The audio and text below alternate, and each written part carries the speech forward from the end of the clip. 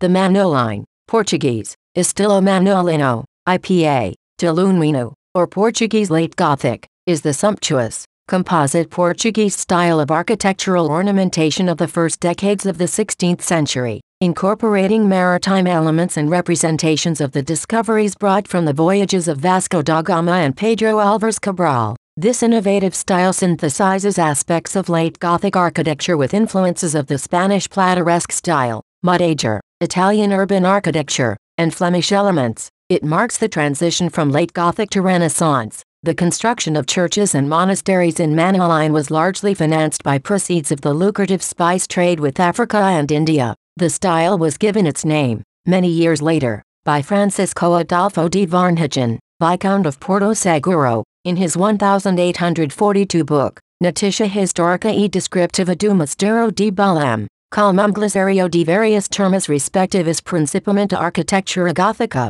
in his description of the Jerónimos Monastery. Varnhagen named the style after King Manuel I, whose reign, 1495-1521, coincided with its development. The style was much influenced by the astonishing successes of the voyages of discovery of Portuguese navigators, from the coastal areas of Africa to the discovery of Brazil and the ocean routes to the Far East, drawing heavily on the style and decorations of East Indian temples. Although the period of this style did not last long, from 1490 to 1520, it played an important part in the development of Portuguese art.